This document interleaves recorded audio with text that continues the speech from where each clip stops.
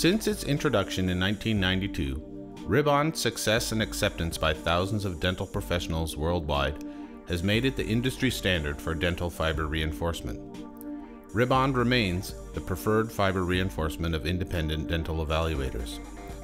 Ribbond is the top choice of reality evaluators, clinical research associates, and also consistently receives the Dentaltown Townie Choice Award as well. Reality evaluators list Ribbond as their preferred fiber reinforcement and reference Ribbond's proven and documented history of success, stating, Ribbond has the most research and the longest track record in this category. Its performance has been very good. Clinical Research Associates states a clear preference for Ribbond, stating that the importance of ease of use far outweighs cost, and Ribbond reinforcement fiber has the best ease of use. The most obvious difference between Ribbond and other fiber reinforcements is its superior manageability. Ribbond is woven using a patented leno weave. The unique weave is open for easy wetting with the resin, but does not unravel when placed, providing unsurpassed handling characteristics. You can see how Ribbond has no memory and will not rebound when bent. Ribbond's superior manageability can easily be seen when making a periodontal splint. Here you can see how Ribbond stays in position, does not rebound out of the contacts, and easily follows the arch and contours of the teeth. You can also see how this differs from other fiber materials. Loosely braided materials like Kerr's Connect unravel during use. When making a periodontal splint with the loosely braided Connect fibers, you can see how the material spreads apart doubling in width and resulting in an unnecessarily bulky and uncomfortable prosthesis for your patient. Glass fibers are stiff and have a lot of memory. It is difficult to construct a periodontal splint using glass fibers. You can see how the fibers rebound when trying to adapt them into the contacts, and they do not stay in position. This presentation clearly shows that Ribbond has the best ease of use, but don't take our word for it, make your own comparison. Please call or email us and we can send you a manageability sample for your evaluation. Please note that these samples will not be clinically usable, as they will not be cold gas plasma treated and will not bond to the dental resins. If other manufacturers would send a similar sample, the difference will be readily apparent. Manageability not only affects the clinician's ease of use and the patient's comfort, but perhaps more importantly, manageability directly relates to the long-term clinical success. Like a porcelain veneer or an orthodontic bracket, the thinner the bond line is, the better the laminate effect will be. In the case of fiber reinforcements, strength is achieved via design. Layering the fibers against the teeth makes a laminate structure. The closer the fibers are placed against the tooth surfaces, the thinner the bond line will be and therefore the better the laminate effect will be. When a carpenter glues two pieces of wood together, he uses a clamp to minimize the thickness of the glue between the two pieces of wood.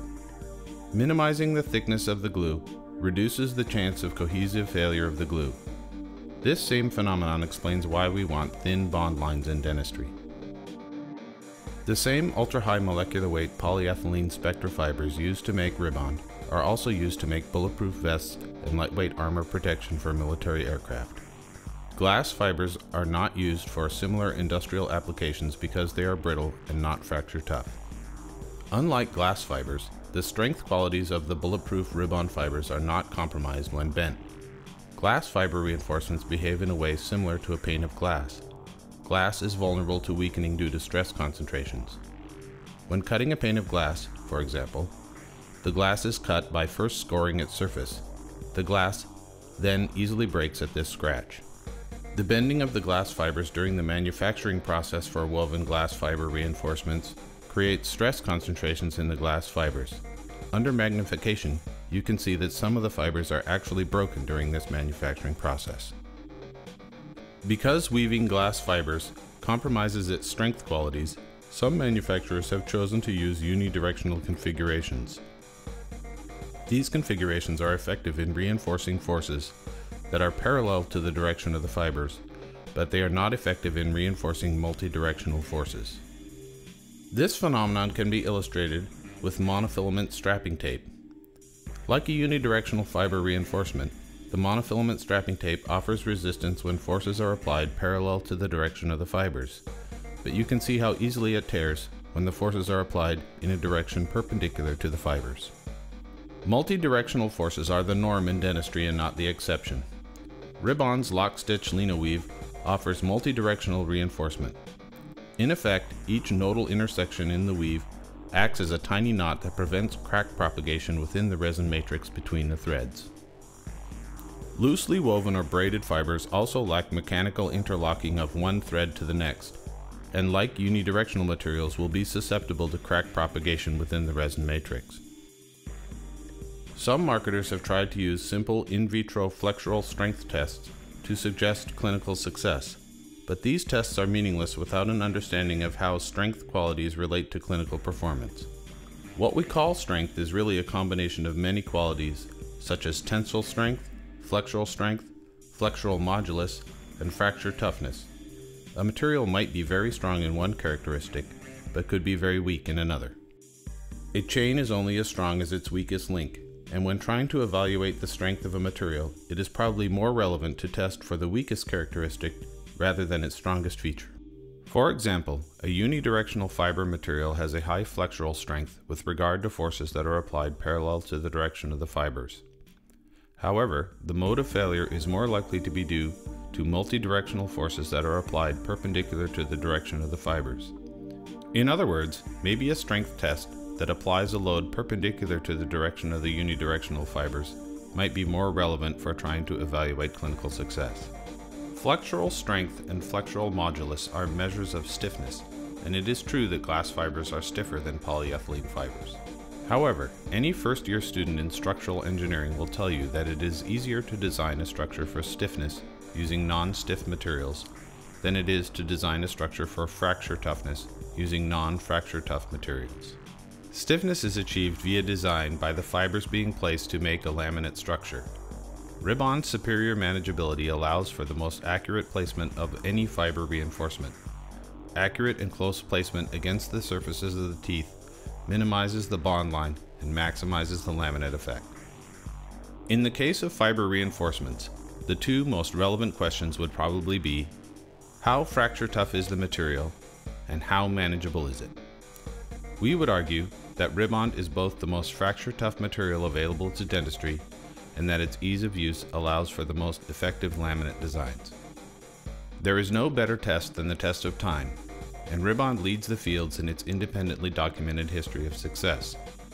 Such research includes an independent 42 to 84 month recall study of Ribbond periodontal splints by Howard Strassler at the University of Maryland, which showed zero fracture failures in the 11 patients that were followed during the study.